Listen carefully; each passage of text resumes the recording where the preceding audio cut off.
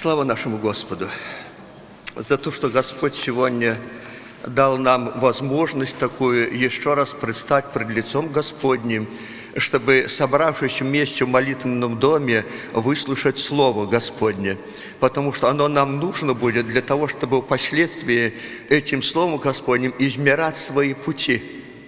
И откровение Иоанна, э, я уже один раз у нас был, получилось так, что был праздник как раз в среду, уже не было разбора. И сегодня тоже могло бы не быть, но перенесли совет епископов на завтра, поэтому сегодня есть возможность, чтобы провести этот разбор.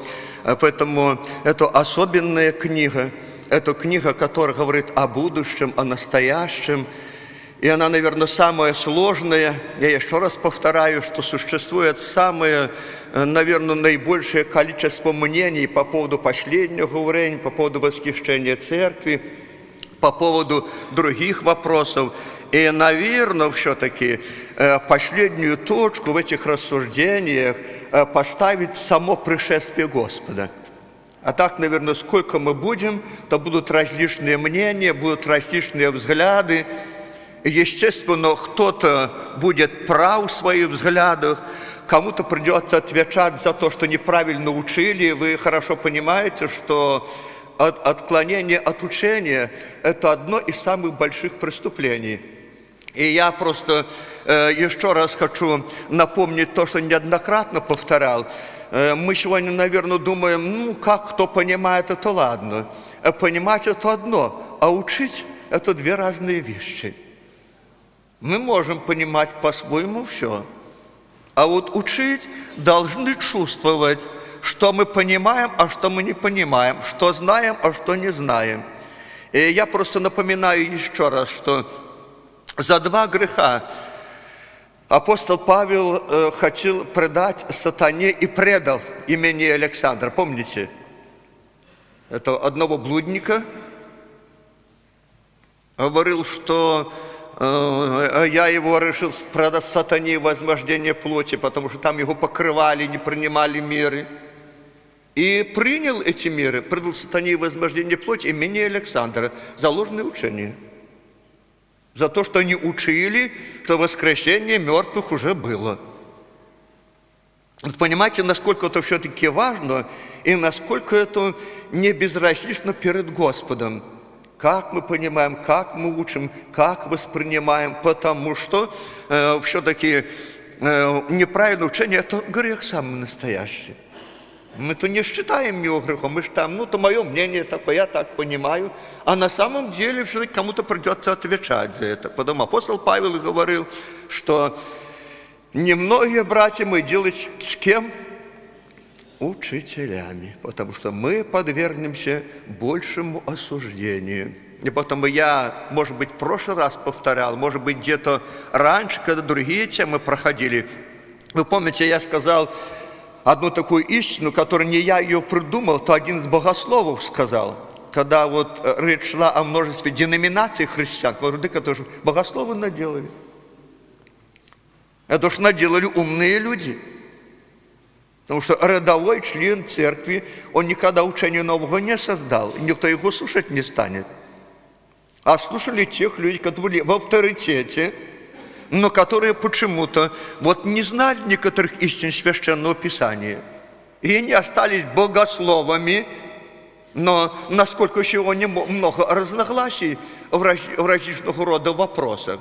Поэтому я хотел бы, чтобы сегодня были очень внимательны, ну и некоторые вопросы, которые, может быть, неудобно приемлемые, ну, приняли во внимание и оставили на дальнейшее время. Мы очень часто способны враждовать даже по поводу того, что один так понимает, а другой понимает так. Но этого не должно быть. И апостол Павел в послании к Коринфянам, если я не ошибаюсь, сказал так, что надлежит между вами быть и разномыслием. И для чего? Чтобы открылись между вами кто? Искусные. Речь не идет искусственные или обманутые, а люди искусные в слове, люди искусные в преподавании или в изложении того, что они дают людям. И потому они всегда есть. Эти недоразумения были, но и, наверное, и в сегодняшний день мы будем рассуждать, и не все у нас будет один к одному, не все будете понимать так, как я понимаю. Ну, хотя я не буду навязывать, но я буду аргументировать что-то. Поэтому Откровение самая сложная книга, но будет и то, о чем у нас э, никак не будет недоразумений и сомнений. Это вся эта Библия или вот эта книга, она будет учить нас жить святой жизнью. А в этом вопросе уже, как правило, вопрос не недоразумений. Священное Писание довольно конкретно и сильно говорит об этом – но я уже не раз говорил такую фразу, произносил, иногда нам невыгодно понимать правильно. И мы стараемся чем подальше не понимать. Ну, это уже будет наша проблема. Это будет то, что нам присуще. Но в вопросах святости, в вопросах хождения перед Господом, я думаю, что Господь дал ясность каждому, даже самому простому члену церкви. Поэтому я просто Э, напоминаю о том немножко и обращу некоторое внимание на некоторые стишки Священного Писания. И особенно обращаю внимание вот этой первой главе и 11, 8 э, стихом Иоанн говорил или передавал слова Христа, которые Он нам передал. Он сказал, что «Я есть Альфа и Омега, начало и конец, говорит Господь, который есть и был и грядет Вседержитель».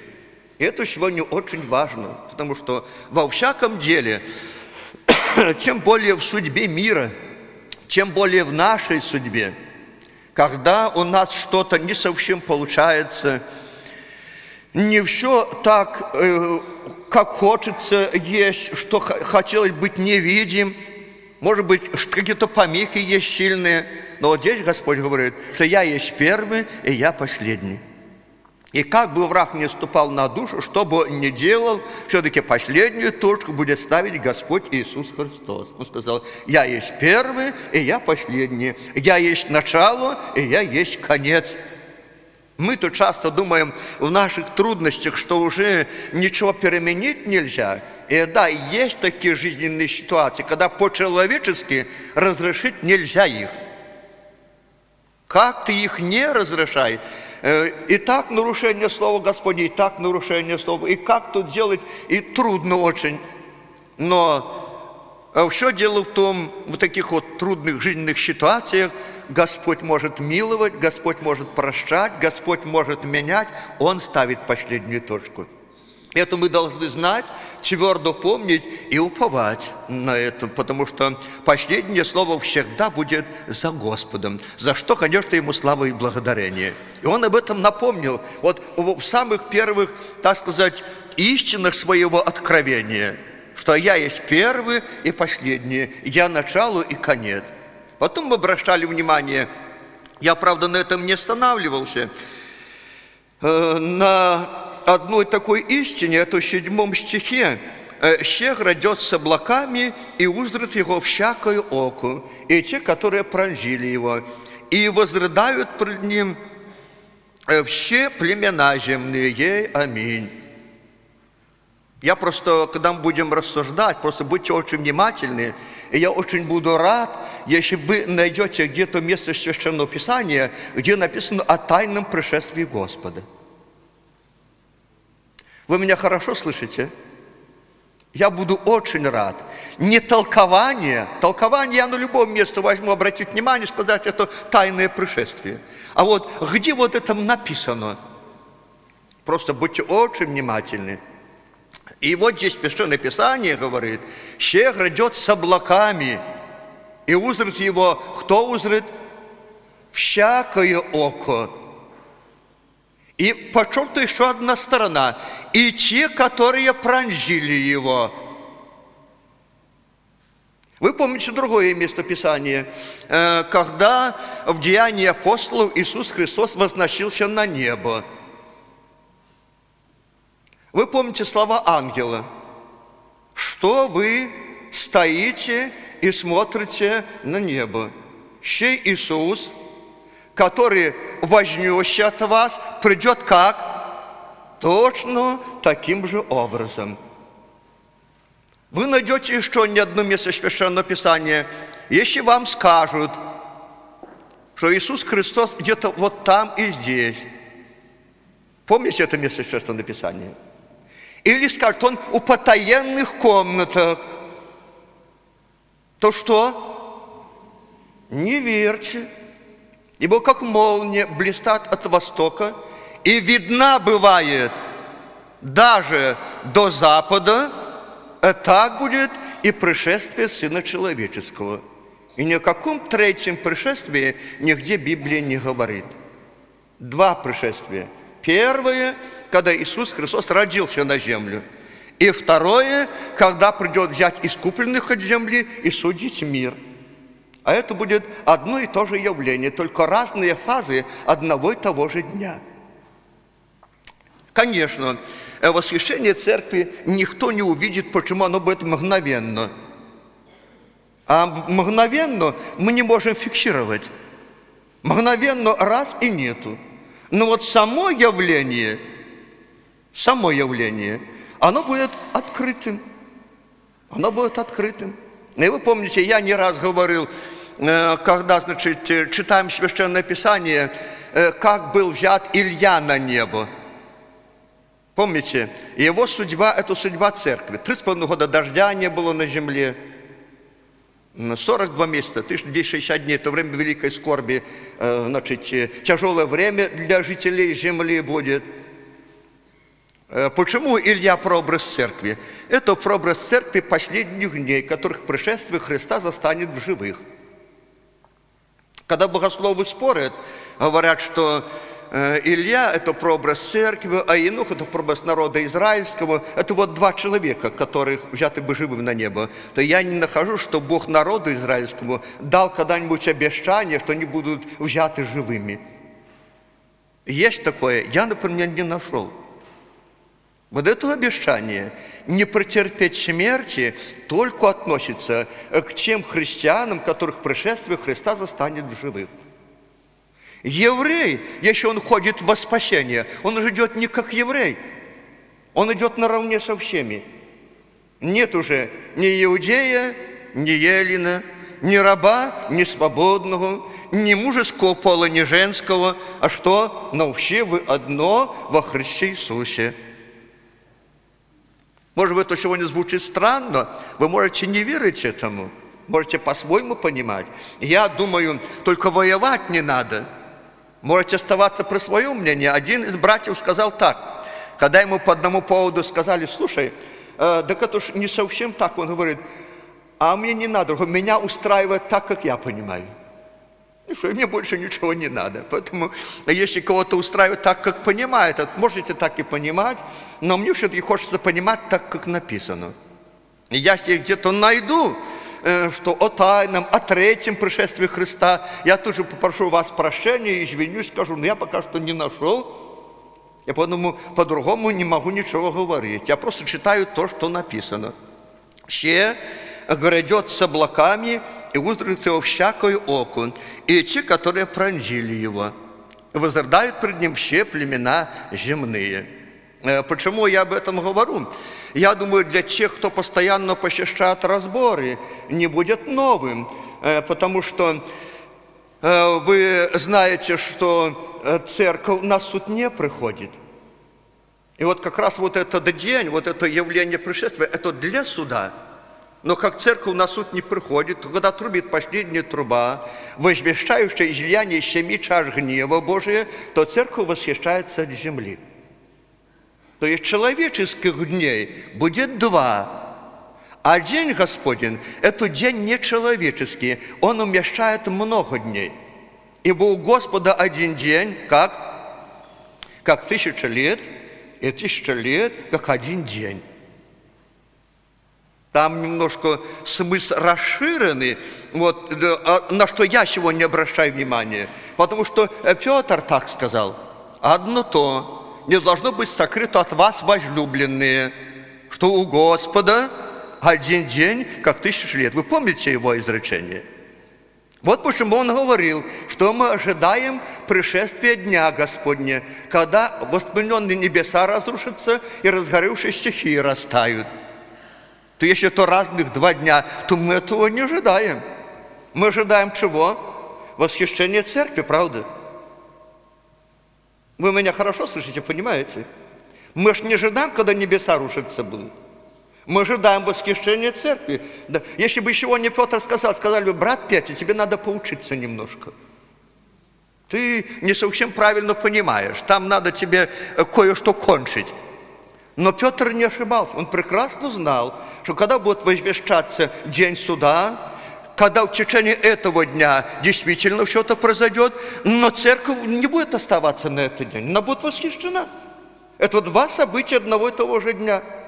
Но в первое мгновение человеческого дня, из которого начинается длинный день, Господин, церковь забирается с земли. Вы помните не одно свидетельство. Говорит, в день, в который Лот вышел из Содома, пролился дождь огненный и черный. И в день, в который Ной вошел в ковчег, пришли воды потопа на землю. Я ничего не напутал. А вы помните, как написано? В тот же самый день, когда мы читаем Малахию, там найдем еще более конкретно. Вот приходит день, пылающий как печь, и вообще поступающие нечестиво и надменно, будут как солома, и попали ты в грядущий день. А для вас, благоговейшее под имя моим, зайдет солнце правды и исцеление в лучах его, и вы взойдете и взыграете, как цельцы упитанные. Опять одно явление, одно. Для одних будет пылающая печь, а для других радостный день, день избавления. И вы нигде не найдете когда речь идет об этом дне Господнем, что-то будет два. Один. И Господь неоднократно, например, повторял о том, что вот, вот, вот оно так будет. Поэтому пусть Господь сегодня благословит нас. Я просто хотел бы, чтобы просто не спорили на эту тему. Почему я и сказал сразу. А уже кто прав, кто виноват, уже само пришествие покажет. А до этого времени, наверное, и будем спорить вот так. И будем спорить вот так. Но кто-то окажется неправ. Поэтому я просто обращаю внимание на то, что написано. «Я есть Альфа и Омега, начало и конец, говорит Господь, который есть и был и грядет, Вседержитель. Я, Иоанн, брат ваш, и соучастник в скорби, и в царстве, и в терпении Иисуса Христа. Посмотрите, что э, должно быть присуще нам и чему не стоит удивляться. Чему мы стали причастниками? Мы бы хотели быть только причастниками радости, которая в Царстве Небесном будет. Только причастниками ну, того, что для нас приемлемо, что мы ожидаем каждый день. Но Писание говорит, чтобы стать причастником той радости вечной и вечной жизни, то сначала надо стать причастником терпения, скорби и так далее, и так далее. Я, брат ваш, и соучастник в скорби, и в царстве, и в терпении Иисуса Христа. Был на острове, называемом Патмос, за Слово Божие, и за свидетельство Иисуса Христа. Слово Божие – и свидетельство Иисуса Христа. Я в прошлый раз обращал на это внимание. Это две стороны нашего современного служения. Это Слово Божие, а Дух свидетельства, э, э, что является Духом свидетельства? Или кто? Свидетельство Иисусово и есть кто? И есть Дух пророчества. И я еще раз читаю этот текст Писания – был на острове, называемом Патмос, за Слово Божие и за свидетельство Иисуса Христа. Я был в духе в день воскресный э, э, и слышал позади себя громкий голос, как бы трубный, который говорил, «Я есть Альфа и Омега, первый и последний». Я обращаю внимание, я был в духе в день воскресный. Мне после разбора кто-то подошел и сказал, что значит, э, в подлиннике, а в самом деле есть разница в переводе в подлиннике и здесь, потому что перевод – это творческая работа. Один к одному не получается, упускаются некоторые детали. Он говорит «день Господень» или «суббота». Здесь написано «день воскресный». Здесь правильно переведено. Потому что э, я не знаю, я этот вопрос глубоко не исследовал, но вот то, что я знаю, днем Господним только один раз названа суббота в Писании. А вообще, когда речь идет день Господь, речь идет о дне суда. Вот наступает день Господень. Вы, вы помните Сафонию, день тьмы и мрака, день облачный и туманный. Яиль говорит, по горам народ распространяется щильный, и они перекликаются, пророки, один с одним. И, как правило, вот за одним исключением, днем Господь называется день суда. И только один раз, суббота. Есть такое место, днем Господь суббота названо. Поэтому вот здесь перевод «воскресный день». Э, то есть, ну, Э, смысл этого дня Господня заключается не в дне суда, не в каких-то других смысловых оттенках, а именно это был день отдыха, это был день, седьмой раньше был суббота, сейчас мы празднуем воскресенье в честь воскресения Иисуса Христа. Потому что если даже так рассуждать, то мы не можем праздновать субботу, потому что в этот день Иисус Христос в гробу лежал. Какой праздник? Вот на сегодняшний день. Какой праздник? Как можем праздновать тот день, когда Иисус Христос был в гробу? А мы понимаем, что это было во благо нам. Мы понимаем, что если бы Он не умер, то мы бы спасения не имели. В этом смысле слова мы довольны, что Иисус Христос умер за нас.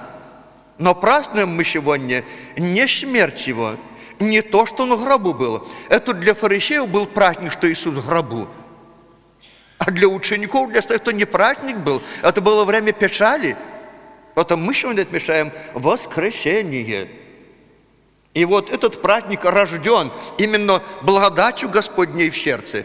Вы, наверное, заметили, что если в Ветхом Завете есть конкретные указания, какие праздники праздновать надо, то в Новом Завете вы ничего не найдете – вот специально попробуйте найти, где написано, что надо праздновать праздник Рождества Христова. Где написано Пасху праздновать. Где написано Пятидесятницу праздновать. Где написано праздник жатвы праздновать. Да, в Ветхом Завете написано. Но сегодня другое время. Эти праздники, они рождены благодатью, не под диктовку, а от нашего благодарного сердца. И мы правильно делаем, что мы празднуем. Если мы этого не будем делать, грех будет лежать на нас. Но это уже не диктовка, это уже не насилие какое-то, уже вот празднуйте и все.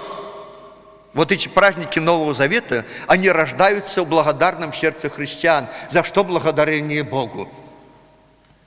И такой пример вы можете найти в Священном Писании. Это праздник Пурим, когда Господь избавил от руки Амана Мордахея весь иудейский народ. Помните? Бог не заставлял праздновать этот праздник. Это сделали кто? Есфир, Мордахей, а царь утвердил, и евреи празднуют до сегодняшнего дня Пурим. Потому что этот праздник рожден благодарным сердцем иудеев, которых Господь, или евреев, которых Господь избавил от смерти. Поэтому сегодня немножко другое время, потому э, когда здесь написано «день воскресный», мы понимаем «день воскресный». Это день, хотя, допустим, Иоанн на то время на острове Патмос, он действительно э, не было работы там – Хотя я вообще не знаю, но он жил как-то. Может, самому приходилось до себя что-то акрыды собирать, как это Иоанн делал, или дикий мед. Ну, наверное, что-то делал. Ну, как-то же он жил там, получал откровение. Сколько он там был, я не знаю, истории особенно не изучал.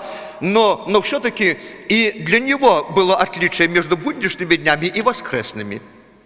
И воскресный день, когда, наверное, все как-то освобождались от труда особого, которые прилагали усилия э, быть где-то в церквах, быть где-то на собраниях. Вот как раз в это время, когда народ Божий как-то молился, был более свободен от этих э, дел земных, Господь как раз и дает откровение Иоанну. Он его получает в воскресный день. И он был в духе. Я был в духе в день воскресный. То есть вот то, что он видел, он видел не плотскими глазами, а духовными. Я был в духе. Здесь написано с маленькой буквы. То есть э, у него был открыт духовный взор. Сегодня, когда мы находимся во плоти нашей, э, то тело наше скрывает от нас духовный мир каким-то образом. Говорят, находясь в теле, помните это выражение священное, мы устранены от Господа. То вот в это время Иоанн, ему не мешали его плотские глаза. Он духом своим видел. Я был в духе, но чтобы быть в духе, надо быть исполненным Духом Святым, иначе за эту плоть не пробьешься. Чтобы видеть духовными глазами, надо быть исполненным Духом Святым. Я имею в виду, э, видеть то, что Господь хочет показать.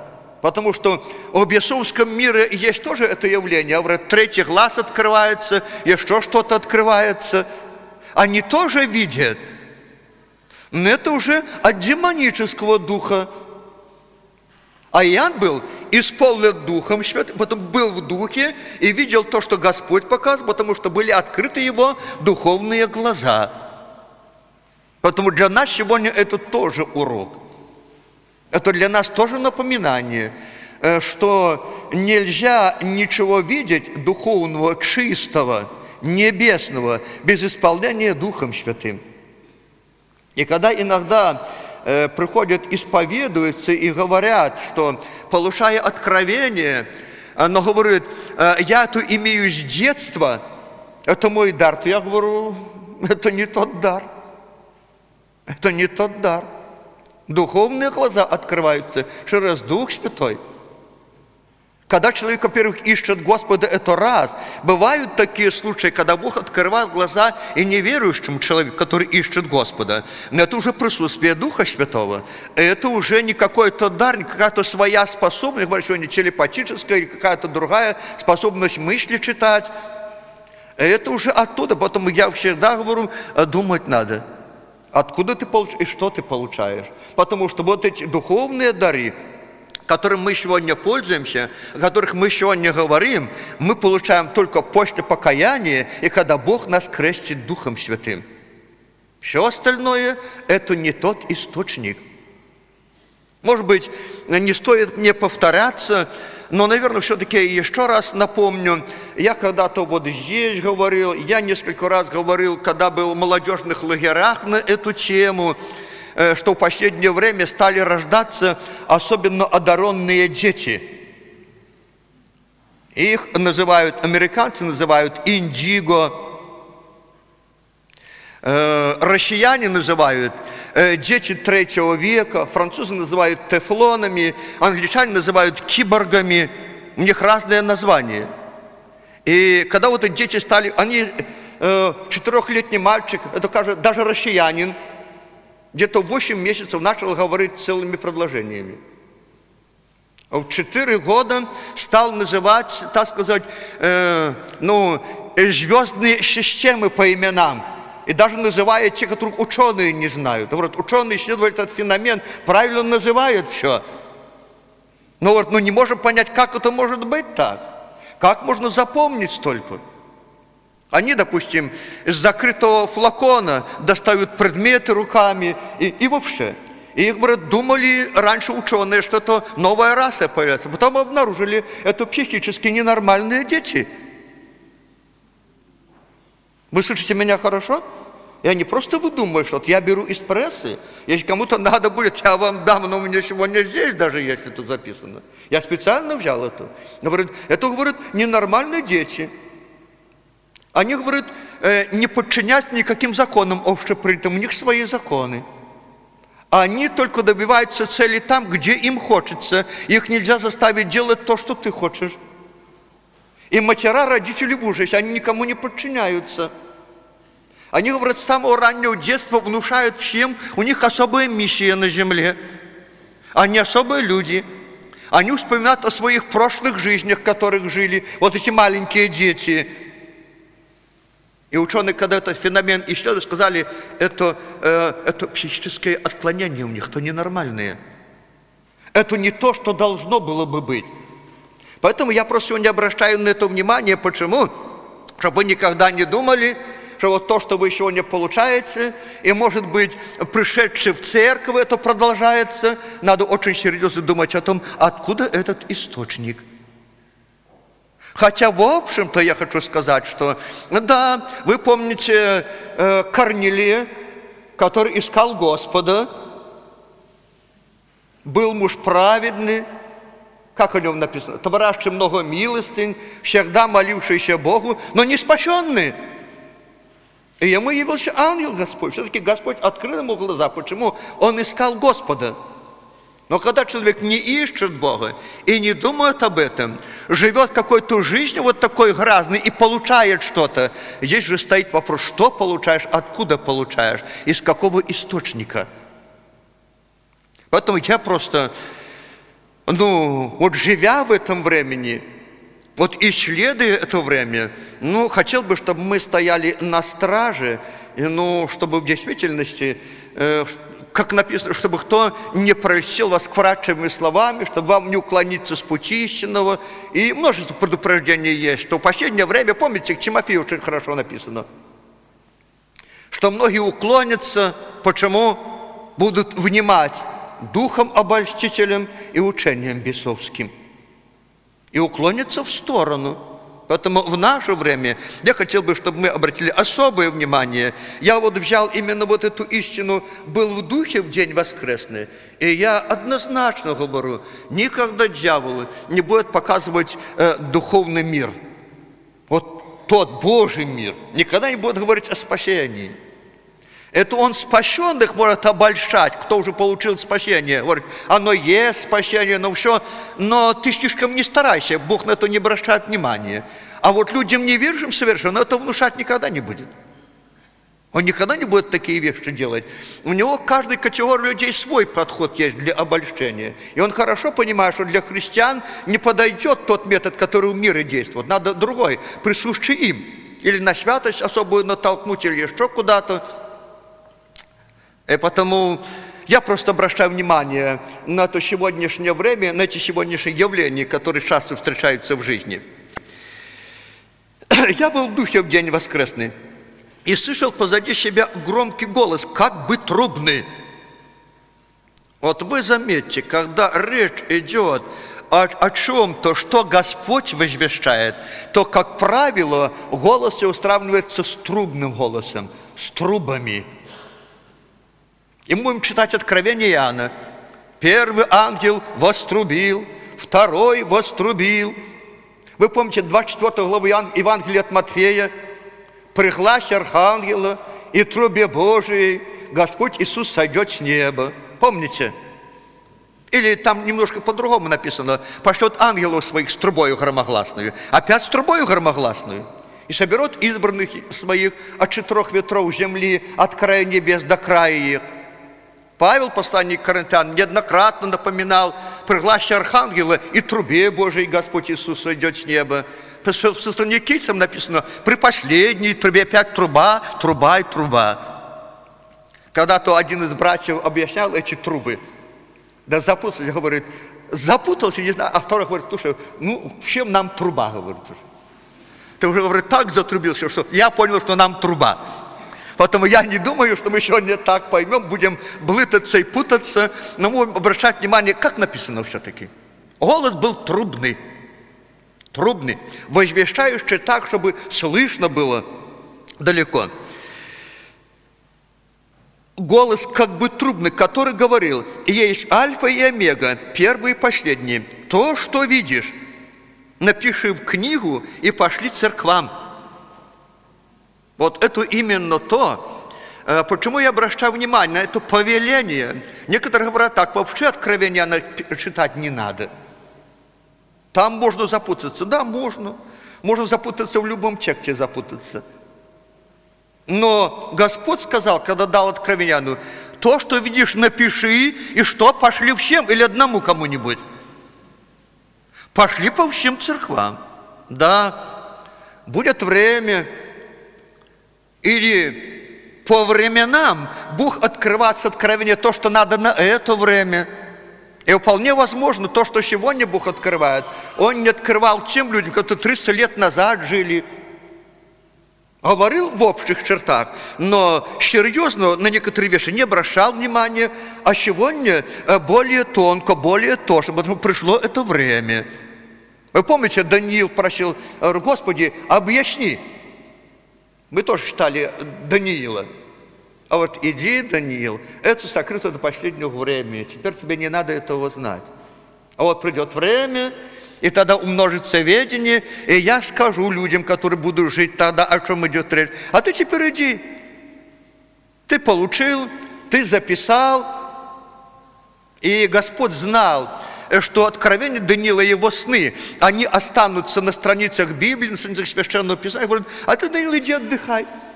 Потому что если ты даже будешь знать, то, ну, то, то какая польза для тебя? Тебе это не надо.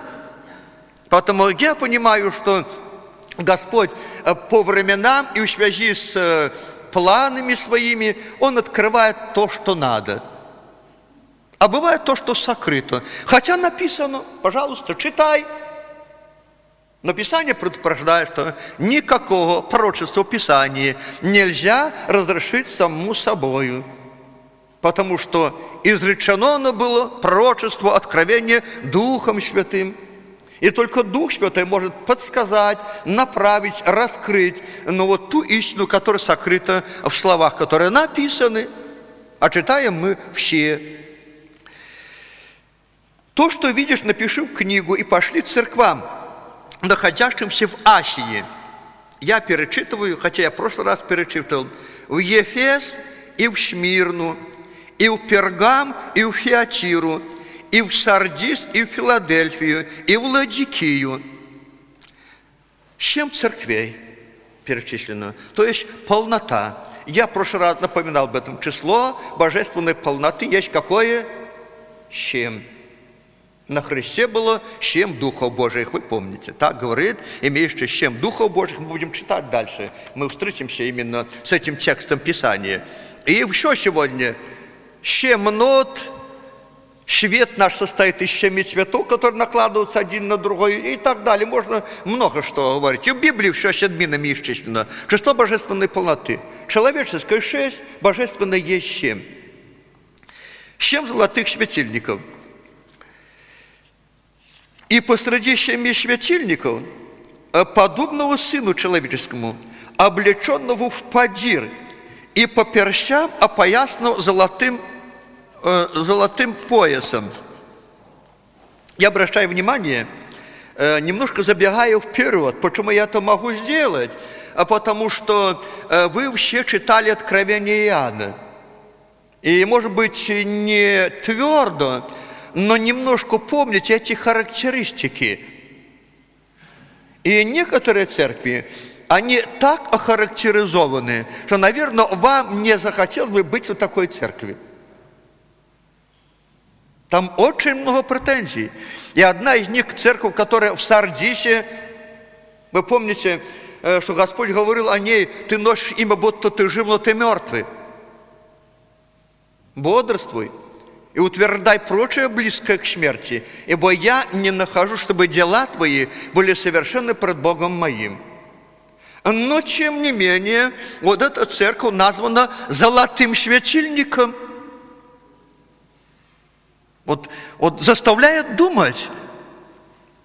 Я почему на это обращаю внимание? Потому что я прошу вас всех, насколько вы читали Библию, читали Откровение, какие там характеристики. Там вообще некоторые ужасные. Но, тем не менее, золотой светильник. А я не объясню все, почему золотой. Во-первых, потому что церковь. Церковь.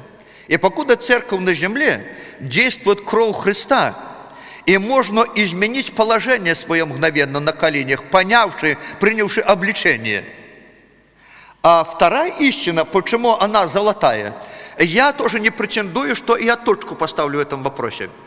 Но слушай, в чем заключается? Почему он все-таки золотой? Он открывает истину по периодам.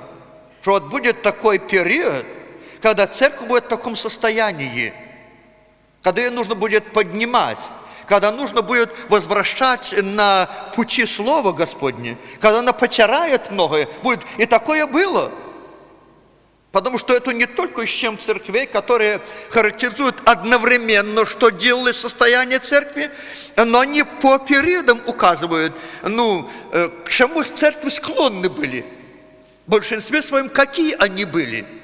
И вот был период, когда вот эта сардийская церковь, она практически, как говорят, не живой, не мертвый. Хотя вообще Христос говорил, ты носишь имя, будто ты жил, но ты мертвый. И в силу того, что это откровение на будущее, она продолжала быть золотым светильником. Это то, что никто не знал, это кто не мог знать. А вот Господь знал, и вот эту церковь поместил на тот период, когда в самом деле во времени такое и было состояние церкви.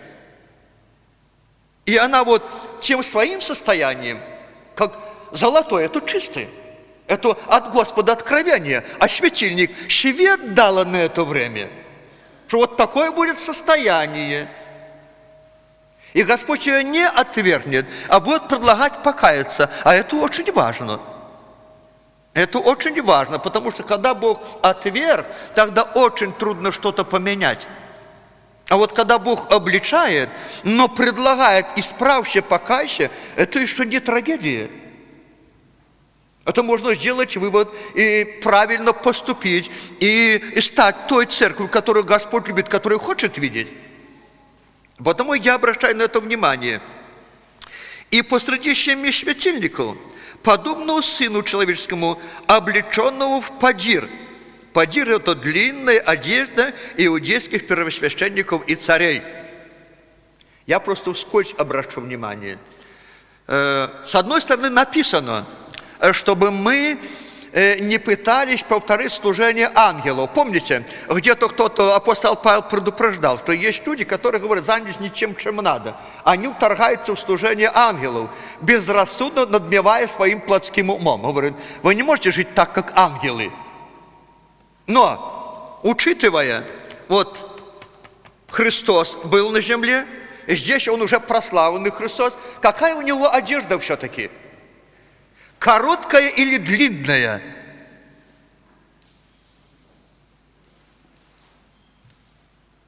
Длинная. Длинная. А он нас поставил быть кем? Царями и кем еще? И священниками. И я не вторгаю служение ангелов. Чтобы после кто-то не сказал, там брат Николай учил нас э, тому, что противоречит Библии. Но вот пример одежды, которая наготу закрывает. Длинная, длинная. И посреди семи светильников, подобного Сыну Человеческому, облеченному в подир, и по перщам опоясанного золотым поясом. Голова его и волосы белые, как белая волна. То мне стоит чего не краситься, чтобы черные волосы были или нет – Христа белые. Ну, ну пусть я постарел, поэтому у меня белые. Ну, если бы даже такие были, я бы не стал перекрашивать. Все-таки Иисуса Христа белые. Так что э, не страшно старость, не страшно, что белые. Ну, чуть-чуть, хоть чуть-чуть да похоже стал. Сегодня многие стесняются своей старости. А между тем, это украшение – вы помните, что написано? Украшение стариков что? Ну вы же меня хоть не считайте уже стариком совсем. Я иногда забываю, что мне 62 года скоро будет. Но тем не менее, вы знаете, что вот в этом все на своем месте. И ничего стыдного нету. Голова его и волосы белые, как белая волна, как снег – Очи его, как пламень огненный, и ноги его подобны халкаливану, как раскаленные в печи. Ну, вы все знаете, халкаливан – это медь полированная. И не знаю, насколько это верно, но говорят, что это отполированная медь, это особая медь, она ценилась даже дороже, чем золото. Ноги его э, подобны халкаливану, как раскаленные в печи. И голос его, как шум вод многих. Он держал в деснице своей семь звезд. Ну, почему шум вод многих? Наверное, указано на могущество. А во-вторых, вы знаете, что э, Христос такой, э, и Бог, что одновременно может разговаривать со всеми. Вот это нам непонятно, как это так. И вы, наверное, знаете, шум вот многих. Здесь можно понять, и может это и правильно будет, э, что очень много воды, сильный поток. Но вы знаете, что даже у морях потоки воды разделяются. Вы это знаете? Кажется, вода есть вода. Какая может быть разница? Но течения разделяются и не смешиваются. Так и сегодня. Э, Бог, когда говорит к нам, может быть, говорит одному одно, другому другое, третьему третье, и ничего не смешивается. Его голос звучит по всей вселенной одновременно. Это голос вот многих.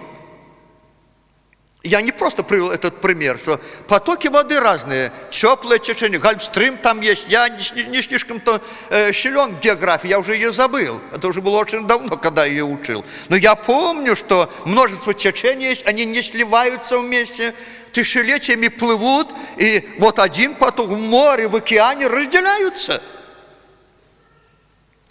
Пусть Господь благословит нас всегда помнить, э, что у Господа для нас тоже есть поток определенный. И он никогда не бывает занят так, что с одним занялся и уже не может с другим. Вот наше счастье в том, что через Дух Святой э, Господь пребывает одновременно во всех местах Вселенной и может говорить одновременно со всеми. Как это у него получается, не знаю, но я знаю, что это так. Я знаю, что это так. И голос его, как шум вод многих – Он держал в деснице своей щем звезд, и из уст его выходил острый с обеих сторон меч, и лицо его, как солнце, сияющее в щели своей. Ну, здесь дальше я прочитаю, чтобы расшифровать. Господь здесь сам поясняет, кто такие звезды. И когда я увидел его, то пал к ногам его, как мертвый. И он положил на меня десницу свою и сказал мне, не бойся, а я если первый и последний, и живой, и был мертв, и еще жив во веки веков, аминь, и имею ключи ада и смерти. Итак, напиши, что ты видел, и что есть, и что будет после сего. Э, тайна семи звезд, которые ты видел в деснице моей, и семи золотых светильников есть я. Здесь уже не надо выдумывать ничего. Господь сам объяснил, что значит звезды и что значит светильники – тайна семи звезд, которые ты видел в деснице моей, и семи золотых светильников есть я. Семь звезд – суть ангелы семи церквей. А семь светильников, которые ты видел, суть семь церквей. И, конечно, ангелы – это служебные духи, и здесь написано тоже с большой буквы. Но я думаю, что речь идет о пастырях – Потому что ангелу не надо говорить «покайся». Помните? А Бог там говорит, что «покайся». Покайся. Потому что если бы ангел надо было покаяться, он никогда уже больше на небе не был бы. Те, которые однажды согрешили, они все не извержены в преисподнюю. Они находятся там и находятся в воздухе. Часть в преисподних местах земли, часть находится в воздухе. А речь идет к пастырям, которые являются как бы посланниками от Господа, чтобы управлять народом.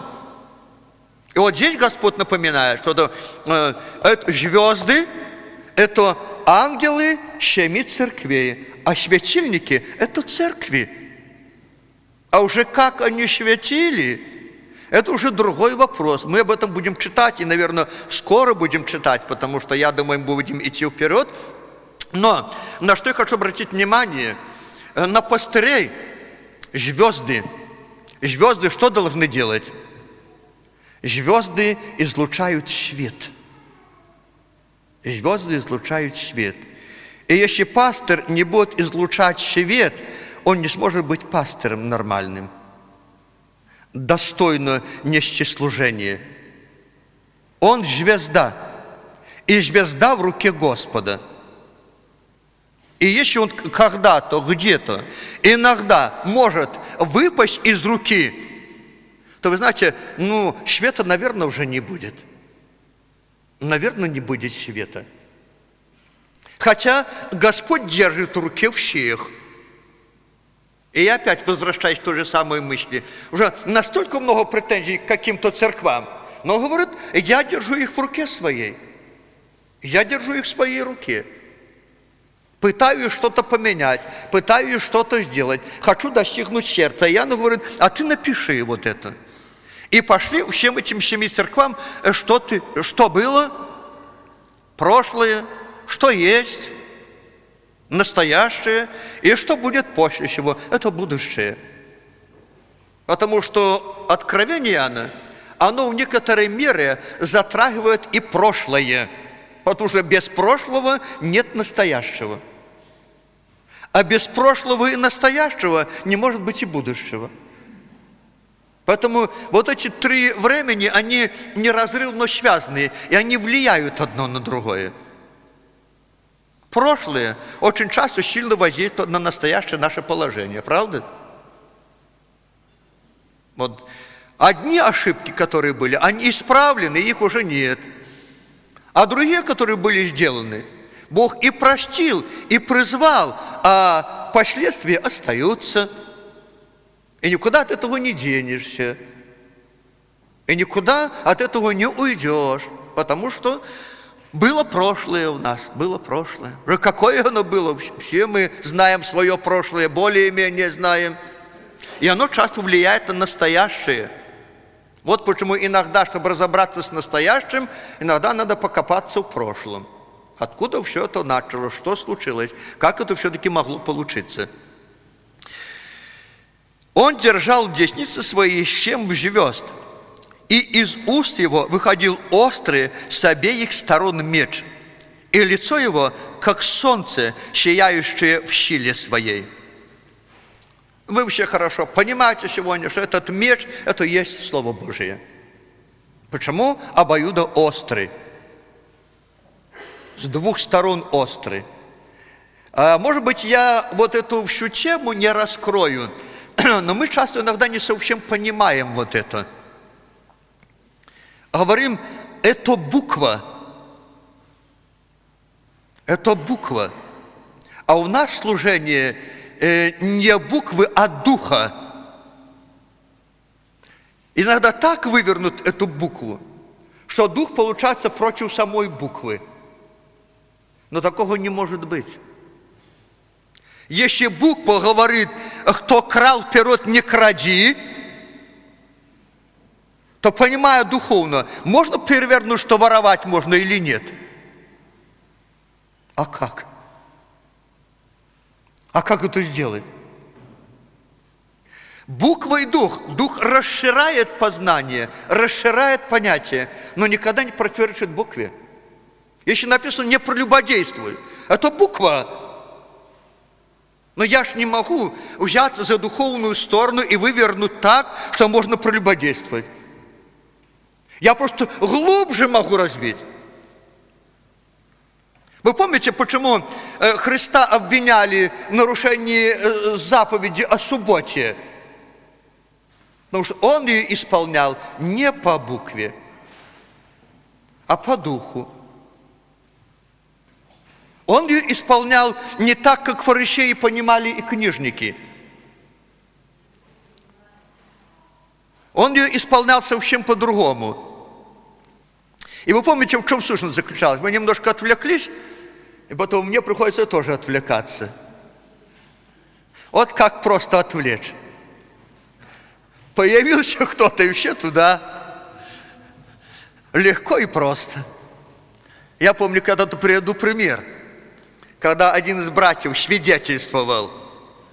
А говорит, пришел в собрание, ну и интересно ему было, сколько в собрании людей присутствует. И он целое собрание считал. А потом стал, одяв ему говорит, вот, каже, я тебе работу сегодня дал, на целое собрание. Сидел и считал сколько. Он же ничего не слышал абсолютно. Он считал, сколько у церкви людей. Вот, говорит, я тебе работу дал хорошую, считал, считал, все время считал, сколько есть людей в церкви. Поэтому я просто хотел бы, чтобы мы сегодня не обращали особое внимание, не отвлекались. Потому что мне приходится останавливаться, прерывать мысли свои.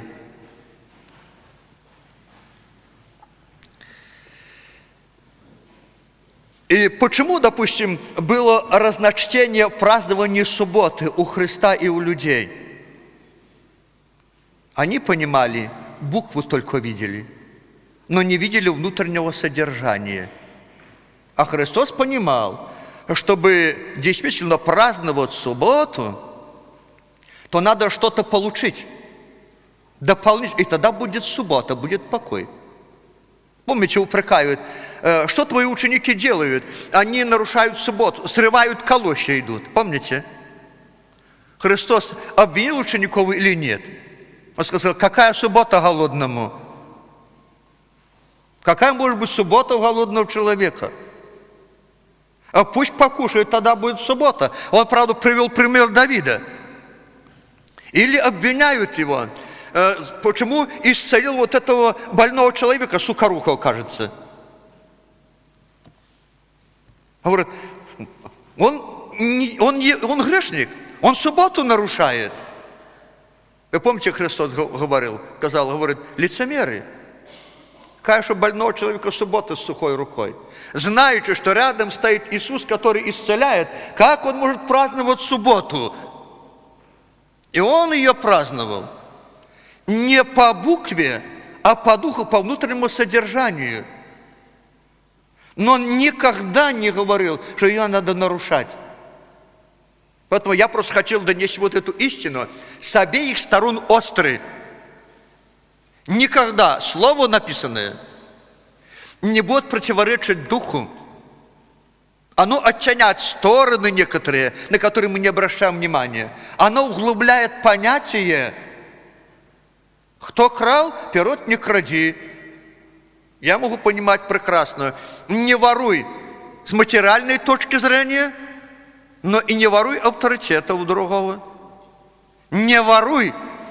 Ну и называть еще что можно воровать. Чувств не расхищай его. Пророки, не воруйте слова друг у друга.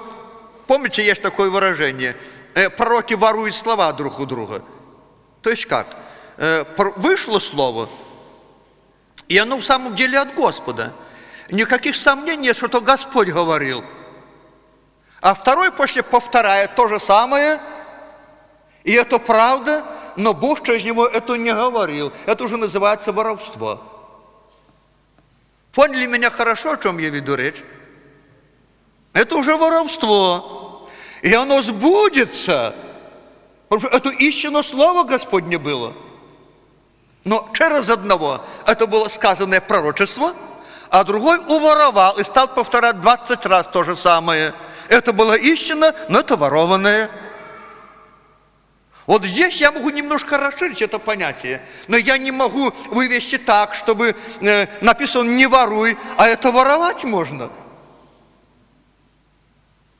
Почему я на этом останавливаюсь?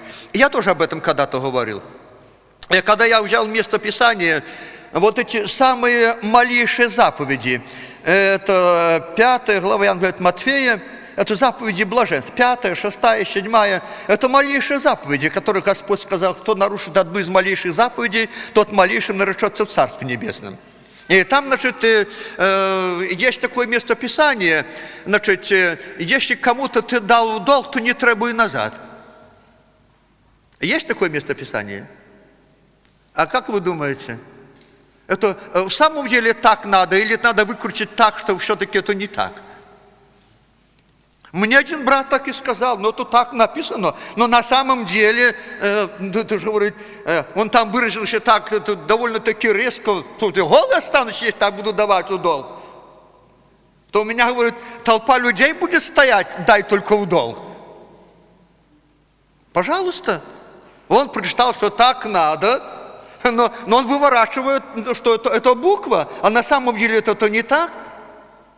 Мы хорошо понимаем, э, что в добродетели будьте рассудительны, вы тогда не давайте тому, кому не надо давать. А если уже дали, то говорите, дал долг, но отдашь тогда, когда у тебя будет. Меня хорошо слышите? Через то, что люди давали в долг, а другие брали, люди стали врагами. Вы такие случаи знаете? Когда дали в долг деньги, назначили время, вовремя не отдали, и пошла вражда. Наверное, все-таки, когда Господь здесь говорит, Он говорит о нас, христианах, что между нами так должно быть. Дал долг, не требуй назад. Но помни, кто взял в долг, вторую заповедь, не будьте должниками никому, ничем, кроме взаимной любви. И тогда один дал, сказал, что даю в долг. И тогда не будет вражды, если вы не отдадите в какое-то время определенное. А вы знаете, что если взял в долг, то, наверное, надо было. Надо было, наверное. Э, я не считаю, что надо давать долг тому, который одолжи мне 300 э, долларов, потому что я хочу за 700 купить ковер на стену повесить. У меня 400 есть, а 300 нету. Э, я не давайте таким людям. Это не долг. Вы меня хорошо понимаете? А долг тому, кто действительно нуждается, кусок хлеба не за что взять. Ему надо дать долг. Но надо помнить одно, что если у тебя нет, то не можешь дать, не давай лучше. Но если дал, не требуй. Ну скажи, даю в долг, но отдашь тогда, когда у тебя будет. И тогда дьявол не придет и не скажет, а, смотри, вот он обещал тебе, а не отдал вовремя. А вы знаете, чтобы отдать долг, если это серьезная проблема, то надо заработать удвойне, чтобы и прокормить семью, если это на хлеб, и отдать то, что ты одолжил. Уже же не получится, э, значит, ну, Естественно, сколько заработал, столько и хватит. Не получится. Надо гораздо больше, чтобы отдать долг. Потому что голодный же не будешь сидеть. Вот это проблема. Потому Писание говорит, разумно очень говорит, что вы, как христиане, имеющие совесть, чтобы не враждовали друг с другом, то возьмите, к примеру, эту, эту заповедь малейшая. Я не знаю. У меня, допустим, сегодня транспорт, все, Помогли братья, но и были те, которые я покупал, я в долг брал, я и брал в долг деньги. И, и мне брат давал и говорил, отдашь когда будет. Я два года отдавал. Я отдал все. Никому не должен на сегодняшний день ничего. А если бы он у меня потребовал сразу, где б их взял бы? Где б их взял бы? Хотя, правда, для меня лично транспорт, но мне ехать надо. Вы, вы сами хорошо знаете, для меня это предмет первой необходимости. Для кого-то может быть роскошь, для меня это оно надо во всех этих вопросах. А поэтому, вот, пожалуйста, когда исполняется заповедь Божия, буква и дух, они не противоречат одно другому. Они не могут конфликтовать одно с другим. Оно просто, и у Христа написано, очи как пламень огненный, и слово его, меч, обоюдо острый с обеих сторон, не тупой. Он острый. И для кого острый? Для греха. Вот попробуйте вот жить так вот, как говорит Священное Писание, и греху места не будет. Как только где-то вот эти заповеди малейшие нарушаются, тут же дьявол и будет сверлить. Ну, хотя бы я про этот долг вот сегодня взял. Все, это будет вражда, это будет ненависть. Почему? А не совсем по заповеди поступили. Поэтому в таком случае, если не можешь дать, не давай лучше. Значит, э, врать не надо, что у меня нет. Но сказать, надо мне, ну не могу я дать себе. Я знаю своего соседа, я раньше жил в Несвеже, и он очень много набрал в долг. Кстати, и мы ему со Светланой дали, и он и не отдал. Он и не отдал. Он пошел к соседу, он машины гонял. И пошел сосед за деньгами. Он говорит, ешь, но я тебе не дам, потому что ты не отдашь. Коротко и ясно. У нас мужества не хватает сказать так. Ну, у меня нету, и подожди завтра, да еще что-нибудь, и вот так вот вокруг да около. А он говорит, ешь мне денег, но я тебе не дам, потому что ты не отдашь. Вот ты отдай, говоришь, сначала че, а он знал, что он должен много. Я говорю, тебе не дам, и все. Пусть Господь благословит нас сегодня, чтобы в наших устах Слово Господне было острым и с одной стороны, и с другой. Давайте мы не будем тупить одну из сторон, Он должен быть заостренный и с одной стороны, и с другой. У Христа как раз вот именно вот этот голос или слово, который из уст выходит, острый с обеих сторон меч. И лицо его, как солнце, сияющее в силе своей. И когда я увидел его, то пал к ногам его, как мертвый. И он положил на меня десницу свою и сказал мне, не бойся, я есть первый и последний, и живой, и был мертв, и еще жив во веки веков. Аминь. И имею ключи ада и смерти. Вот это одно из таких сильных откровений, которые Господь оставил для нас. И здесь Господь, по сути дела, очень коротко весь свой путь раскрыл или напомнил о нем. Я есть альфа и омега, омега – начало и конец, первый и последний, и был мертвый, но теперь жив во веки веков, уже больше умирать не буду, и имею ключи ада и смерти. Э, так что от Господа нашего Иисуса Христа зависит все – он имеет ключи не только от Царства Небесного, правда, говорят, он Петру отдал их, даю ключи, слово дал, дал откровение, но и ключи и ада и смерти в его руках. За ним всегда последнее слово. И он знает, как нас оправдать. А самое главное оправдание – это оправдание в его голговской жертве и в крови. Вот оправдание наше – Итак, напиши, что ты видел, и что есть, и что будет после сего. А тайна семи звезд, которые ты видел в деснице моей, и семи золотых светильников есть я. Семь звезд – суть ангелы семи церквей. А семь светильников, которые ты видел, суть семь церквей. То есть вот эти семь церквей того времени, они дали полную картину церкви, вот это были поместные церкви, как мы теперь называем. Поместные церкви. Перечень, Ефесская, Шмирская и так далее, и так далее. Поэтому, когда люди сегодня говорят, я об этом часто напоминаю, не находят места в церкви нигде, это плохо. Это плохо. Иногда такие встречаются. С какой церкви? Со Вселенской со Вселенской. А это значит, я не раз повторяю, когда э, перед тем, как прием веду, а это значит, что хочу, то и ворочу. Никому не подчиняюсь, что-то на бедокуре, где-то выступить, накричать. Ну как, я член церкви, я же имею право. А меры принять, говорит, вы не можете, я не ваш член. Поэтому от самого начала было семь церквей. Были поместные церкви, они названы по именам. А учение вместе составляли церковь на земле, а уже церковь, которую Господь возьмет, она будет отличаться от всех этих церквей. И если уже исследовать Писание, то написано было пять мудрых и пять неразумных, помните? Пополам. Поэтому, к сожалению, не все те люди – которые ходят в церковь поместную, как мы называем, не все попадут в церковь Христову, которую Господь возьмет. Почему?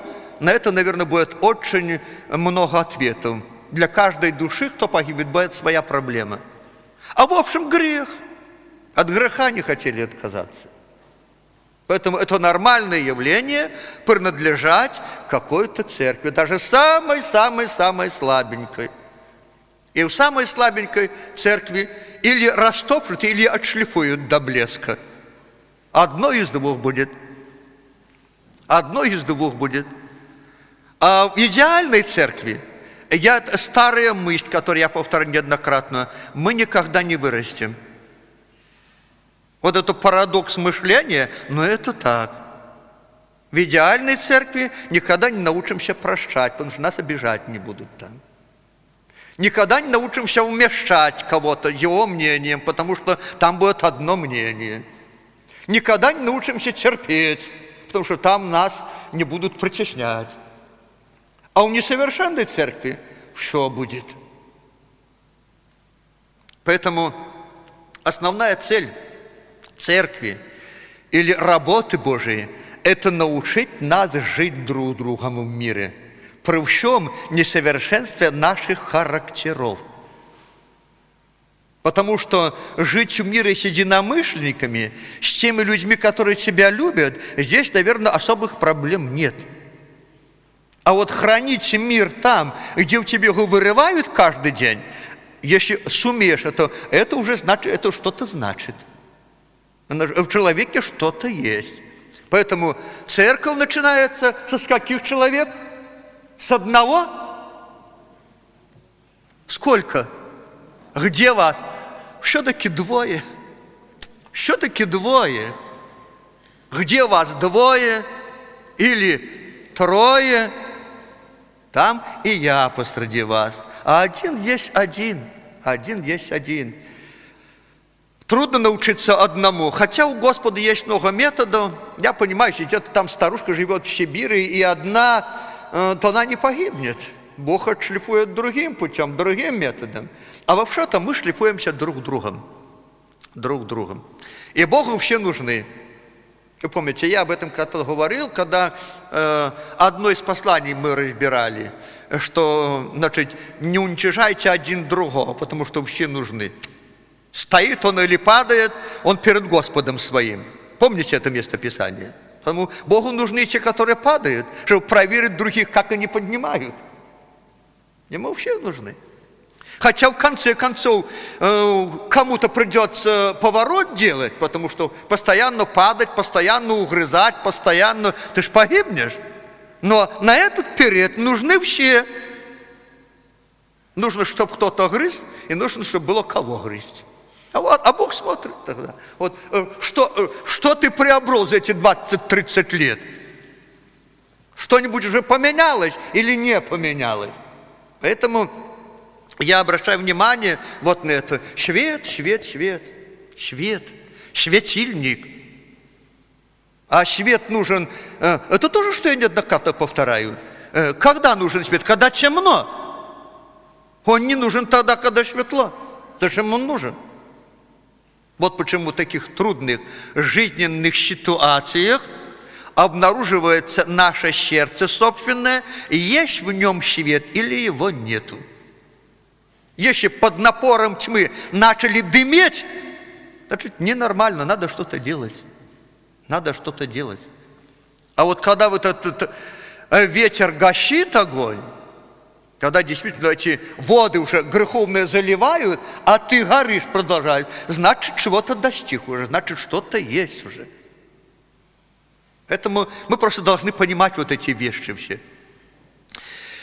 И потом Христос для нас держит нас в руке, как светильники – подливает масло, учит, как это надо делать. Если где-то что-то мы не совсем понимаем, как. Да, в некоторых случаях очень трудно определиться, что делать надо, чтобы был свет. Я просто повторюсь, потому как раз вот, э, ну, э, вот эта мысль проскальзывает, э, когда я говорил неоднократно о Петре, который отрекся. Мы-то сегодня говорим, отрекся Петр, отрекся, отрекся. А вообще-то там не просто все было. И еще раз вам напомню, когда пришли брать Иисуса Христа, Он не отрекся сразу. Он схватил меч, и что он, махал просто или он рубил? Он рубил по ушам. Их попал хорошо, ухо отрубил. Но Христос сказал, в данном случае это не свет.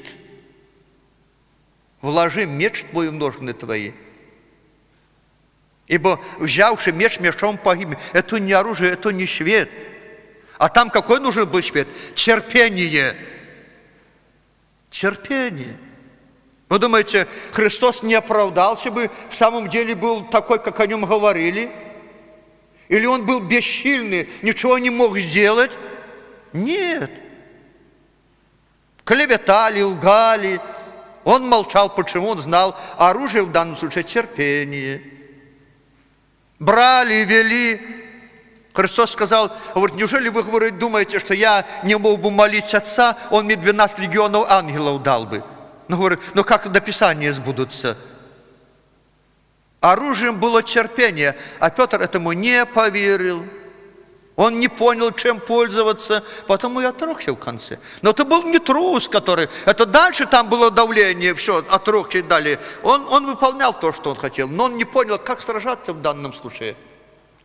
Я тоже не всегда иногда понимаю, как сражаться. Помолчать или сдачи дать. Иногда хочется дать сдачи. Бывает такое. Э, Павел тоже иногда э, давал сдачи, потом приходилось каяться. Помните, он говорил, Бог тебя будет бить, стена подбеленная. Ты сидишь, чтобы судить по закону, вопреки закону велишь бить меня.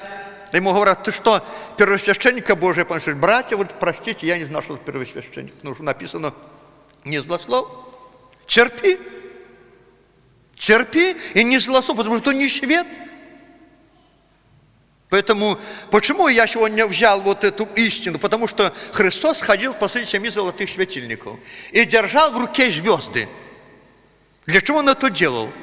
Он руководил церковью и в определенных ситуациях он учил, что надо делать. Павел иногда молчал, а иногда говорил, разве вам позволено бичевать римского гражданина, да и без суда? Говорил он так? Говорил, а в других случаях молчал. Вот как-то Бог ему давал понять, какое оружие борьбы с грехом в данной ситуации надо применить. Потому что неправильно поступивший э, нет света. Или, допустим, я тоже неоднократно повторял это место Писания, когда говорится о наказании, о привлечении к ответственности. Говорит, к одним будьте милостивы. Что? С рассмотрением. А других – страхом спасайте, исторгая из огня. И вот тут перепутаешь. Кого надо страхом спасать, можно помиловать. Это будет не швед. Никак не поможешь этому человеку. И которого, если надо помиловать, накажешь. И наоборот. Не будет света. Вот надо знать, вот этого человека, как надо с ним поступить. Помиловать его или наказать его – а не улезший в сердце человека, как можно сделать это? А Господь может подсказать, сказать, помилуйте этого, а этого все, все. Я когда-то помню, один из случаев такой был, раз пал в грех, два, да, ничего не сказал никому. Потом, Господи, что делать, отлучать его или что? Господь, он давно сам себя отлучил, говорит уже. Он сам себя отлучил своим грехом, потому что делать с ним? Конечно, отлучать свет. Христос ходит, дает советы конкретные. И в соответствии с состоянием человека. И метод такой, чтобы спасти человека. Вы представляете, что если, допустим, наказать того, кто уже на последнем издыхании находится, это значит погубить его. А если человек грешит и не останавливается, и помиловать его, это значит открыть ему дорогу дальше грешить. И тут уже ориентируешься на конечный результат. Я помню когда-то один из братьев, и вы помните, э, кто в свое время еще даже в старом молитвенном доме был. Мне кажется, в старом молитвенном доме. Когда один из братьев бучу устроил в церкви, помните? Когда ему сказали, а, а что ты так сделал? Говорит, а вы знали, что я пью. Почему вы не пришли, не наказали меня? Надо было принять мир, я, может, перестал пить. И я решил устроить скандал, чтобы вы все знали, что я пью. Кто-то будет прятаться и наоборот грозит, смотришь, не говори жене, что я это сам, потому что я тогда тебе меры приму. А этот разнеслось, пил и так далее, не приняли меры, он пошел скандал устроил. Говорит, чтобы вы знали, что я пью. Почему вы, не, почему вы меня не наказали? И вот меня взяли на замечание, может, я перестал бы пить, а вы вот знали и не делали. Вот я и устроил скандал. Я не знаю, помните вы об этом, не помните, я помню хорошо. И брата помню, но э, просто он уже в вечности, потому нет смысла сегодня имена называть. Какой смысл? Как факт, как факт. Потому что вот надо было принять мир, и не приняли. А в другом случае может быть, не надо было принять, помиловать еще раз, дать шанс. Поэтому вот здесь как раз и трудно состоит в том. И здесь, конечно, очень много зависит от водительства Божия. Потому что сердце человека не видишь, не знаешь его характера, и трудно вот так вот по разуму э, какие-то меры выбрать, которые надо принять. Я читаю дальше. Э, это вторая глава. Здесь уже Господь обращается конкретно к церквам. Это характеристики церквей. Вот этих семи церквей, которые Он показал Иоанну, их состояние. Ангелу Ефесской церкви напиши. А так говорит держащий, чем живет в деснице своей, ходящий посреди семи золотых светильников. Знаю дела твои, и труд твой, и терпение твое, и то, что ты не можешь сносить развратных. И испытал тех, которые называют себя апостолами, а они не таковы. И нашел, что они лжецы – ты много переносил и имеешь терпение, и для имени моего трудился и не изнемогал, но имею против тебя то, что ты оставил первую любовь твою. Итак, вспомни, откуда ты не спал и покайся, и твори прежние дела, а если не так, скоро приду к тебе и сдвину светильник твой с места его, если не покаешься. Впрочем, то у тебя хорошо, что ты ненавидишь дела Николаитов, которые я ненавижу. Имеешь ухо да слышит, что Дух говорит церквам. Побеждающему дам кушать от древа жизни, которое посреди рая Божия. Это вот характеристика первой церкви, Ефесской. И вы знаете немножко историю, если вот эту историю этой церкви разбирать по Библии, а я думаю, что этого будет достаточно. Потому что я опять повторю то, что я когда-то повторял, что я, допустим, верю лично каждому слову, которое записано в Библии, в Евангелии. Что касается истории, я не особенно то верю. Поэтому я сегодня исследую вот эту церковь именно на основании э, данных, которые Библия дает. Ее начало какое было? Во время пребывания Аполлоса в Коринфе, 19 глава, а Павел, прошед верхние страны, прибыл в Ефес. И нашел, нашел там некоторых учеников, значит, не Павел положил начало, уже кто-то там работал. Вот уже Библия говорит об Ефесянах, об этой церкви, как уже о церкви, которая уже была. Уже были люди там, и которых Павел посещал. И нашел там некоторых учеников, сказал – сказал им, «Э, приняли ли вы Святого Духа уверовавши? Они же сказали ему, мы даже и не слыхали, есть ли Дух Святой. Он сказал им, а во что же вы крестились? Они отвечали, во Иоанново крещение. Павел сказал, Иоанн крестил крещением покаяния, говоря людям, что вы веровали в грядущего по нем, то есть во Христа Иисуса – Услышавши это, они крестились во имя Господа Иисуса. И когда Павел возложил на них руки, не шел на них Дух Святый, и они стали говорить иными языками и пророчествовать. Всех их было человек около 12. Вот вам, пожалуйста, цифра, откуда начиналась церковь Ефесская, и первые известия о ней. И они пришли от Павла. Он пришел и заметил, что в этой церкви чего-то не хватает. И будучи, имеющий духовные глаза, экспертом в этой области, он задает им вопрос прямой. Приняли вы Святого Духа уверовавши? Они ему сказали, что? А мы даже и не слыхали, есть ли Дух Святой. Во что же тогда крестились? Почему Павел задал такой вопрос? Формула крещения. Крещу тебя во имя Отца и Сына и Святого Духа. Он им ставит вопрос. Во что ж вы тогда крестились, если вы не слыхали, что есть Дух Святой? Они говорят в крещении Иоаннова, а там была другая формула. Там не упоминалось это. И он говорит им, Иоанн крестил крещением покаяния – а вам нужно другой смысл вложить сюда. Вы э, это сделали, но, но не совсем то, что надо. И когда они крестились, здесь стоит во имя Иисуса. Речь не шла о том, что именно крашу тебя во имя Иисуса, а речь о чем идет?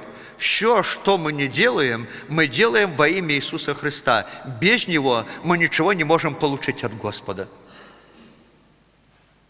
И это дело не столько в словах, только в сознании, сколько в понимании.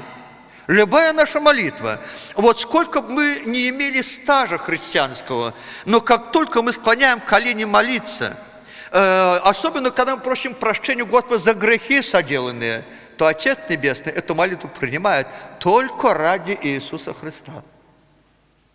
Иначе мы грешники, а Бог грешников не слушает.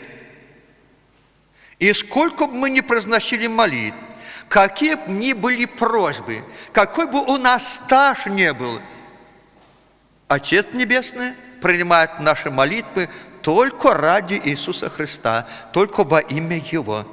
Они через Него проходят – Почему Писание говорит, если Христос не воскрес, помните, говорили, что Христос не воскрес, нет воскрес, тогда, говорит, вы мертвы во грехах ваших. И тогда грешники. Ни о каком спасении вы речи вести не можете. Потому что Христос воскрес. Он мертвый. Вы молитесь, а Христос мертвый, а вы грешники без Христа. Потому, говорит, Отец не принимает ваших молитв. А вот то, что Он живой и воскрес – все наши молитвы, и сколько мы будем жить на земле, они все будут проходить через Иисуса Христа во имя Иисуса. Только во имя Иисуса они принимаются. Это не слова, не формула, это познание, это убеждение, это вера, что мы спасены только через Христа. Все молитвы через Христа – все благодарности, даже благодарности Богу через Христа идут, потому что Бог грешников не слушает. А вот почему Павел сразу, когда услышал э, ответ, мы даже не слыхали, если Дух Святой говорит, во что ж вы тогда крестились? Если бы крестились, крещите во имя Отца и Сына и Святого Духа, сказали, слушайте, а что ты Святой Дух, что ты сказал? И объяснили бы. А так этого не было. Вот почему Павел сегодня и нам оставил это место Писания, чтобы мы хорошо поняли сущность всего происходящего.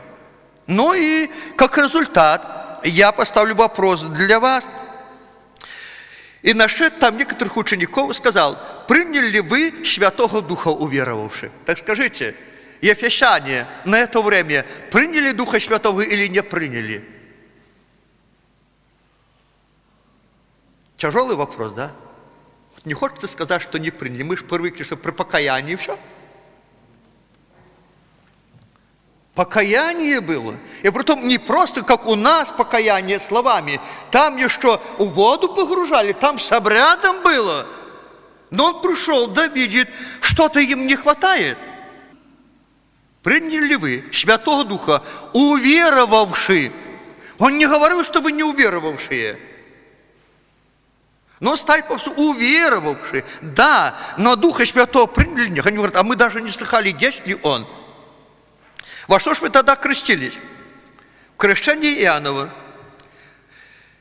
Услышавши это, они крестились во имя Господа Иисуса. И когда Павел возложил на них руки, не шел на них Дух Святый, и они стали говорить иными языками и пророчествовать. А теперь они получили или не получили? Получили. А знаменем что было? Знамение языками говорили. То есть они не были обмануты. У них было знамение. Вы знаете, у всякой духовной вещи есть знамение материальное, наружное. Вот я, допустим, я связан с этим служением. Есть знамение проклятия. Так проклятие совершается в духовном мире. Об этом никто не знает. А знамение какое? Вы помните, там перечень целый, кажется, 28-22 глава Второзакония, не помню точно. Там целый перечень знамений, почем можно разобраться, что есть что-то. Поэтому результат того, что получили Дух Святой, что не обмануты, знамение есть. Иногда бывает пророчество, но оно идет вот так же, э, как э, механизм говорения на языках. Я читаю еще раз этот текст Писания. И когда Павел возложил на них руки, не шел на них Дух Святый, и они стали говорить иными языками и пророчествовать. Всех их было человек около двенадцати. Вот со скольки человек начиналась церковь в Ефесе. И вот при всем том, что они получили все, э, я думаю, если тот брат, говорят, Аполлос там проповедовал, может и точно, но я не могу уверенно сказать, потому что он был наставлен на начатках пути Господня. Помните, когда они ему что-то добавляли Аполлосу? Он говорит, он был наставлен на начатках пути Господня и учил о Господе правильно, зная только крещение Иоанна. Потом Акила и Прескила их приняли, и там немножко добавили ему, он воспринял, наверное, уже по-другому. Более полное учение давал. Скорее всего, что он был, но я об этом говорить не буду. Не хочу строить фантазии какие-то, кто там был. Но, короче говоря, дали начало, но до конца не довели. То Павел дополнил то, что не хватало им, сказал все – и думаю, пробыл не, не один день там, и вот они загорелись, и вы знаете, какой их был труд? Дал бы Бог, чтобы мы такие были. Я еще раз перечитаю. Я еще раз перечитаю. Напиши. «Э, так говорит, держащий чем живет в деснице своей, ходящий посреди семи золотых светильников. То есть вот то, что Иисус говорил, это была правда – это не было, допустим, какого-то недоразумения, которое у нас бывает. Вот мы что-то говорим, даем какую-то характеристику, а на самом деле то ошибаемся. Или очень сильно хвалим за большую работу, а ее нету. Или, допустим, э, ганим человека за то, что не доделал, на самом деле он не мог больше. Но уже когда Христос говорил здесь, Он говорил то, что было на самом деле, то да и аминь. И Он всегда подтверждает аминь. Аминь – это же от истины. Это точно так было. И вот что было. «Знаю дела твои». Вот на что Бог обращал внимание в первую очередь. Не на наш язык, как мы красиво можем говорить, не на то, как мы оправдываться можем где-то. Знаю твои дела. Знаю дела твои. И труд твой, и терпение твое, и то, что ты не можешь сносить развратных – и испытал тех, которые называют себя апостолами, а они не таковы. И нашел, что они лжецы. Вот попробуйте сегодня вот пастору обнаружить апостола, который лжец. И сказать ему открыто. А апостол это же э, немножко более высшее звание, чем просто пастор. Вот насколько большая ответственность у пастора – Апостол, апостол, но он когда поглядел, что то за апостол, то нашел, что то и не апостол на самом деле. И, наверное, должен был сказать всем, кто его слушал, что, ну, это хороший брат, как мы часто говорим, но лучше от него подальше. Ну, ну хороший, но лучше от него подальше быть. Лучше его обойти. Вот нечто похоже вот здесь нарисовано. И нашел, что они лжецы. Ты много переносил – и имеешь терпение, и для имени моего трудился и не изнемогал.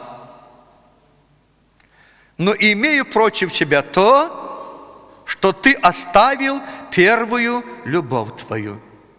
Вот как часто может быть. И я обращаю внимание вот на что. И дальше вот начал. Там, правда, другие церкви пойдут. Но вот, вот отступление, которое на первом плане стояло, первое отступление – а уже дальше, вот мы пойдем по другим церквам, больше, больше, больше, больше, больше, больше, больше, и, и силы нет, и ладикийский период, и так далее, и так далее. А началось с чего? С тайного, что мог обнаружить только Господь. Никто этого не видел. Потому что ничего не изменилось снаружи. Все было так, как было – все было так, как было. Эта машина завертелась, работал, шел, делал, но уже чего-то не хватало. А чего не хватало? А не хватало любви. Это было то самое важное, незаметное, может быть. И, наверное, в этой церкви пастор сам не замечал этого. Но это было угошение любви. Это было самое опасное, первое. И эту э, Христос только обнаружил. Назвал «все хорошо», нет вопросов. А вот любви первых, уже, как говорят, трудоголики. Вот закрутилась машина, идет раз за разом, день за днем, но уже не те чувства внутри. Стало обыденное, просто работа. Вы знаете, я могу немножко э, привести с врачей. Когда вы ребенка лечите, ранку какую-то, то вы знаете, как внимательно, то для вас ребенок это не работа. А у врача это работа. Как вы картошку копаете, так он режет. Так он пилюльки приписывает. Запросто. Это работа. И есть разница между вами и им. Конечно, если вы врач и еще отец или мать, это все на своем уровне. Но если только, я тоже не говорю о всех. Я тоже не говорю о всех. Есть исключения положительные. Среди положительных есть исключения отрицательные. Но в общем работа. В общем работа. Что для нас сегодня это говорит?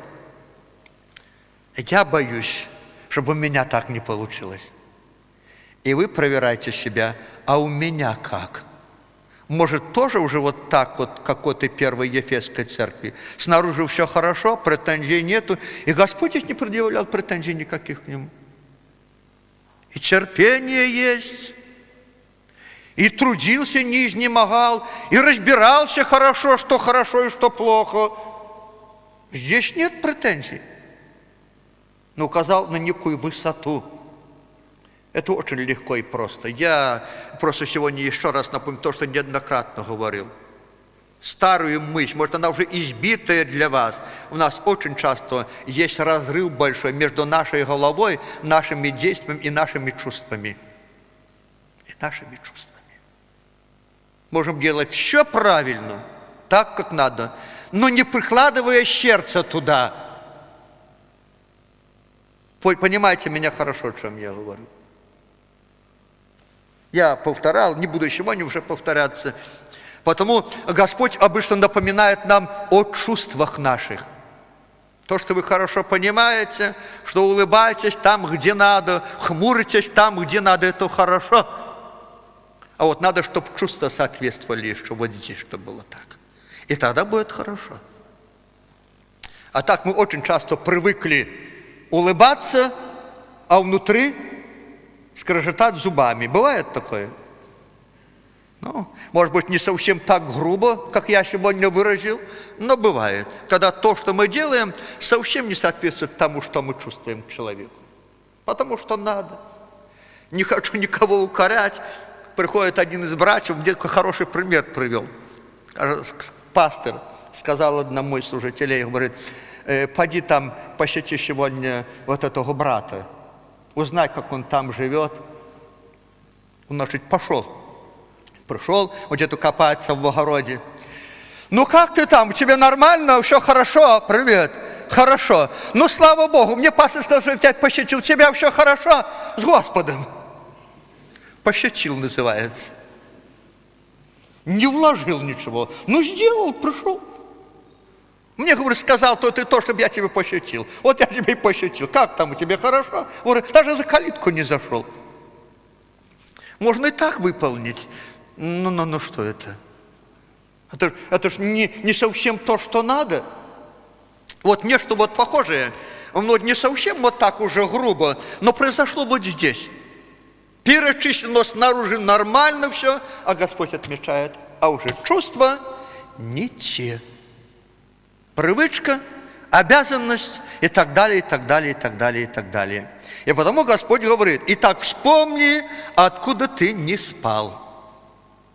Помни тот уровень чувств, сравни с сегодняшним, а мы помним, откуда мы не спали, если мы внимательны. Если кто-то пощащал больных, а теперь не пощащает – то вы помните, как вы ходили, как вы делали, что сегодня. Ваша высота там впереди. Если вы молились ночами, а сегодня не делаете, то уже тоже помните высоту, на которой были.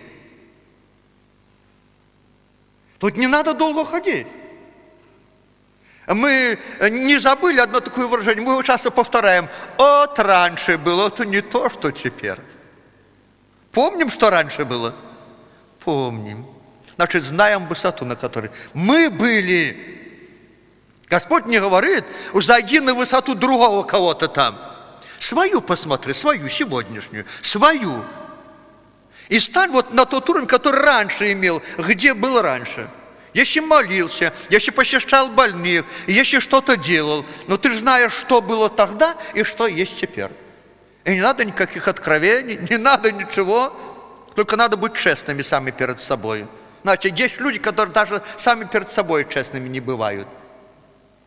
Сами себе не хотят признаться, что плохо. И это очень плохо. Тогда и Бог не может помочь в это время. А вот когда мы сознаем хорошо, что есть что, вот тогда можем делать какой-то поворот. И Господь здесь говорит, и так вспомни, откуда ты не спал, и покайся, и твори прежние дела. Какие прежние? Да все что же самое. А ядро, ядро. Оформление внешне так и осталось, а ядро уже не то. Вот верни назад те чувства, ту ревность, которая была. А дела хорошие, они сегодня на этом уровне. Пусть Господь благословит нас, потому что здесь есть предупреждение. А если не так, скоро приду к тебе и сдвину светильник твой с места его, если не покаешься. Ну, какое место у нас? У меня, допустим, место епископа. У вас место диакона. У вас там место кого там? Место молитвенника. Это место. И здесь не столько речь идет о погибну или спасение потеряю, с места твоего сдвину, поставлю другого. Поставлю другого, который будет по-другому вести дело.